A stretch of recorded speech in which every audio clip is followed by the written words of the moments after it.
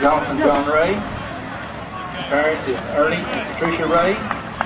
Football four years, track two years.